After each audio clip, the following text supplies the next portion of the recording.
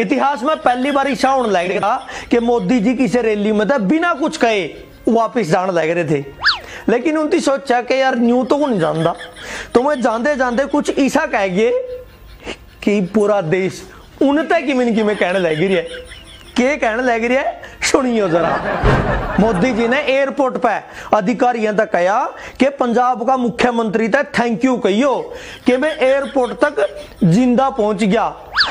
और पंजाब का मुख्यमंत्री ने क्या कहा नु यार, सत्तर हज़ार कुर्सी लग रही, बंदे पहुँचे सत से, मेरा क्या खोट है? इस बात का साथ में भाजपा वाले और न्यूज़ वाले कहने लग गए कि पंजाब में मोदी की जैन न खतरा है।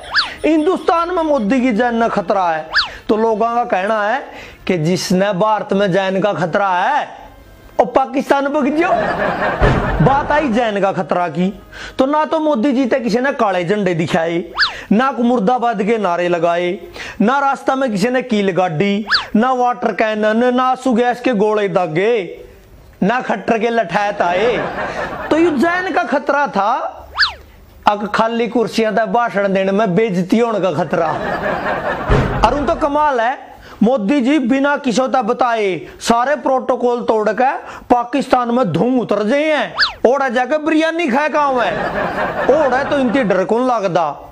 और इस देश का अभिन्न अंग अखंड भारत का अभिन्न अंग पंजाब में इतना डर लग गया मोदी जी, यानी इस देश के प्रधानमंत्री और भाजपा के अनुसार जिनका रहमो करम तय, यु देश सुरक्षित थम है।